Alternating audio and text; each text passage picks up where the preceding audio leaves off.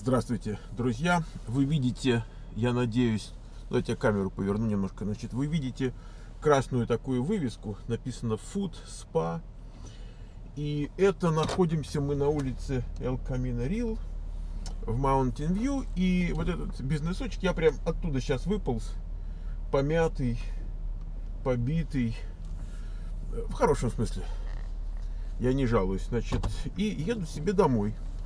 Эм, я делал однажды сюжет несколько лет назад про то, что называется фуд-массаж в Соединенных Штатах. Эм, ну, я, я не думаю, что это именно американское такое дело, но оно популярно. И мне кажется, даже наносит некоторый удар по обычному классическому массажу. Значит, фуд-массаж делают китайцы и делают они его, что называется, за 3 копейки. Вот это 20 долларов. Плюс, ну, десятку сверху там, да, за э, услуги. Значит, ну, чаи, чаевые типы. За 20 долларов тебя в течение часа массируют. Значит, начинается это с того, что ноги ставят в горячую воду. Я думаю, те, кто вот э, в странах Юго-Восточной Азии отдыхал, может быть, они проходили это. Эм, вот, и ставят ноги в горячую воду, и пока работают там по лицу, по э, скальпу, по э, плечам, рукам там и так далее. Потом, значит, уже добираются до самих ног, и там, в смысле, до стоп, и по стопам уже, будь здоров, там э, шандарашт, а потом уже переворачивают тебя на живот и, соответственно, там э, по спинке э, ходят. И вот это все удовольствие стоит, в общем-то, по американским понятиям какие-то деньги, которые можно назвать символическими. То есть нельзя сказать, что как это вот прям уж такая оплата какая-то. Так, чисто символически. Вот. Э, удовольствие невероятное. Понимаете, что происходит? Сидишь, когда за компьютером весь день, вот эти статичные позы, и, соответственно, там мышцы спазмируют.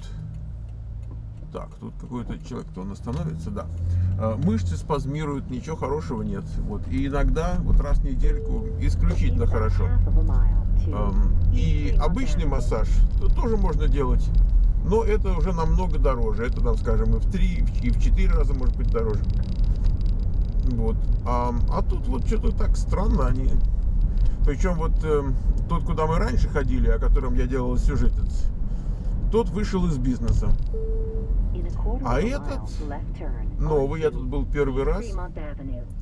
И там говорят люди по-английски хорошо, в отличие вот от того, где все были из Китая, какие-то такие стажеры, вообще по-английски никто не говорил. Эти все, э, э, ну, парень, который со мной работал, во всяком случае, он хорошо говорил по-английски. И так, ну, не знаю, и работал хорошо. Вот. И там есть девочки, есть мальчики. То есть, вот там, например, я предпочитаю, чтобы мужики делали, они, они как-то покрепче, посильней давят, и так чувствуешь себя больше помятым.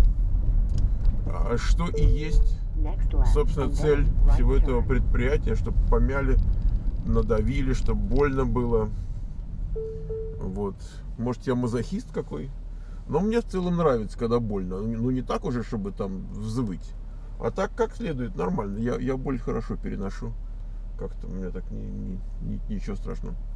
Вот, то есть, когда спрашивают, не больно, я говорю, давай жми. Я говорю, не спрашивай. Вот, так что хорошее настроение. Ай, слушайте, действительно, приободрился. Еду домой еду домой, чего и вам всем желаю. Вот я уже практически приехал, близко от дома, всем рядышком.